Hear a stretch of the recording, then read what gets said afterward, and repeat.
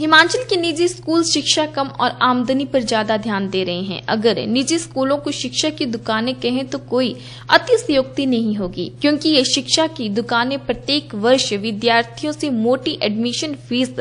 Charge कर रही हैं। यही नहीं, आपको स्कूल ड्रेस कहाँ से लेनी है और आपको किताबें कहाँ से मिलेंगी, ये निर्देश भी एडमिशन के समय ही परिजनों को जारी किए गए हैं। सुनहरी भविष्य के खातिर परिजन स्कूल प्रशासन के आदेशों का विरोध नहीं कर पाते हैं और उनके सभी आदेशों को सिर झुकाकर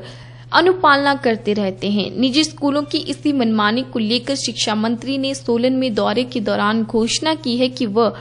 अब परिजनों के साथ किसी भी तरह की जायती नहीं होने देंगे और स्कूलों की मनमानी के खिलाफ कानून बनाकर उन पर जल्द ही नकेल डालेंगे। शिक्षा मंत्री सुरेश भारद्वाज ने कहा कि स्कूलों पर नकेल कसने के लिए जल्द ही रोड मैप तैयार किया जा रहा है ताकि एडमिशन वर्दी किताबों के नाम पर जो लूट हिमाचल में चल रही है, उस पर नकेल कसी जा सके। उन्होंने कहा कि जल्द ही प्रदेश सरकार इसके लिए रेगुलेटरी बोर्ड का गठन करेगी और निजी स्कूल अपनी मनमानी न कर सके इसके लिए सख्त नियम बनाएगी। उन्होंने ये भी कहा कि अन्य प्रदेशों में किस तरह से निजी स्कूलों पर नियंत्रण किया जा रहा है, ये जानने का प्रयास किया जा रहा है और इन्हें देखकर भी सकारात्मक कदम उठाने के प्रयास किए जा रहे हैं ताकि निजी स्कूल अपनी मनमानी ना कर सके। कि हमारा जो मेन एम्फोसिस है, वो गवर्नमेंट स्कूल्स जो हिमाचल प्रदेश में हैं, उनका जो है वो स्तर ऊँचा उठे, उसमें गुणात्मक शिक्षा मिले और उसमें जो है संस्कार युक्त शिक्षा प्राप्त हो। गरीब जनता को, जो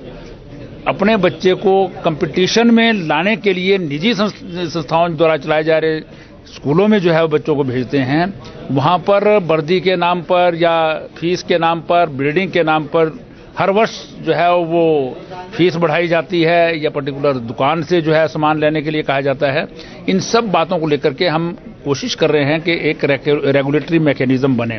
प्राइवेट यूनिवर्सिटीज के लिए रेगुलेटरी कमीशन जो है, बनाया गया है उसमें भी मैं विधानसभा की सिलेक्ट कमेटी का मेंबर था जिसने ये कानून बनाया था, लेकिन उसमें भी बहुत ज़्यादा टीथ नहीं है। तो उसको भी हम जो है, वो सशक्त बनाना चाहते हैं और साथ ही साथ जो स्कूल हैं एलिमेंट्री या हायर एजुकेशन के इंस्टीट्यूशन हैं, उनके लिए भी कोई रेगुलेटरी मैकेनिज्म जो है वो बने। उसको हम स्टडी कर रहे हैं, हम, हमारा प्रयास रहेगा कि इन पर जो है वो कोई ना कोई जो है नकेल कसी जाए, ऐसा जो है मैकेनिज्म तैयार करेंगे। हम कानून बनाने का प्रयास करेंगे, ताकि इन सब चीज़ों पर जो है वो हम कोई जो है संज्ञान भी ले सकें और इन पर कोई ना कोई शिकंजा जो है वो कसा जा सके।